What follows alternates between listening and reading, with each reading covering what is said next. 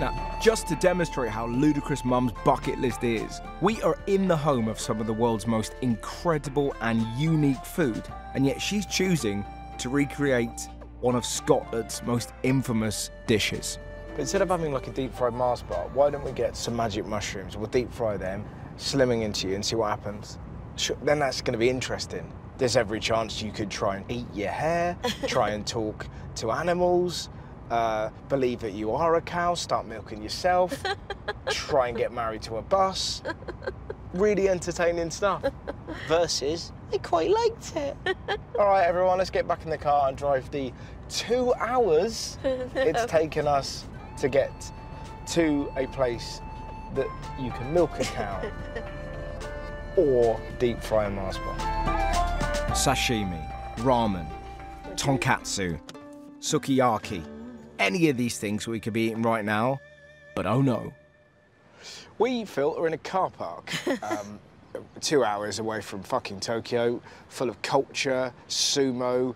We could be on our way to Mount Fuji, but instead we find ourselves in a car park in the only place in Japan where they'll cook a deep fried Mars bar. but it's not about me, it's about Mum's fucking mental bucket list. You know you I like... just, there were so many options. Yeah, but I don't want to take a magic mushroom. There's not even a fucking Mars bar in. We've just found out. What have we got? Snickers in a Milky Way. Is that, is that all right?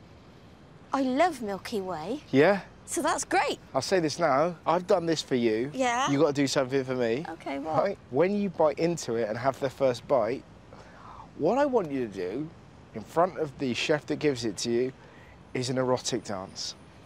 Okay. Of course I'll do an erotic dance. Pleasure doing business with you. Pleasure doing business and you with better go for it. Okay. Remember, erotic is my middle name. It's Sonia.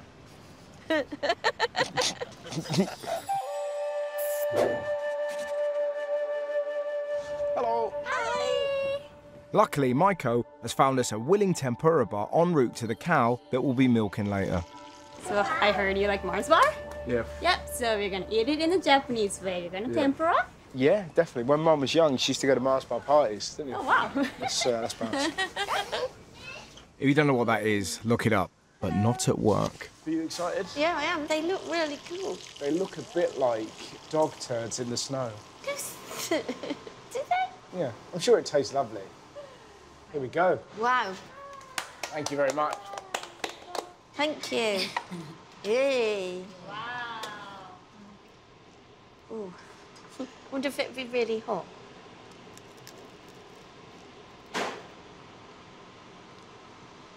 Mmm. How does that make you mmm. feel? Mmm. Yeah. Oh, don't. Yes. Sorry about that. Yes. I said dance. Yes. yes. She really, she, mmm. she's a big fan. She's a big fan. Yes. It was harrowing. Oh, it was arousing. Ah, I thought it was just great. good God. But I enjoyed it. Don't it. do that. God, I gotta eat another bit. Dare I? Well, what's that? Is that the Milky Way?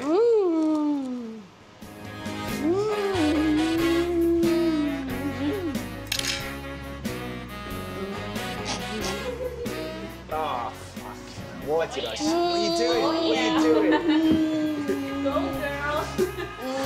This is awful. Mum, please, we're gonna get thrown out. Oh, that was fantastic. It was awful. And it, the, the worst thing is, it was my mistake. I told her to do an erotic dance, and she really went for it. Can you bite of this one?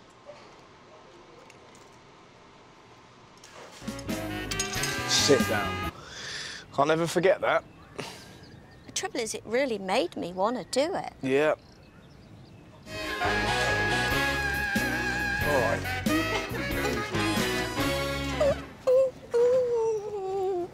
Mum's sexual dance aside, it actually tastes lovely.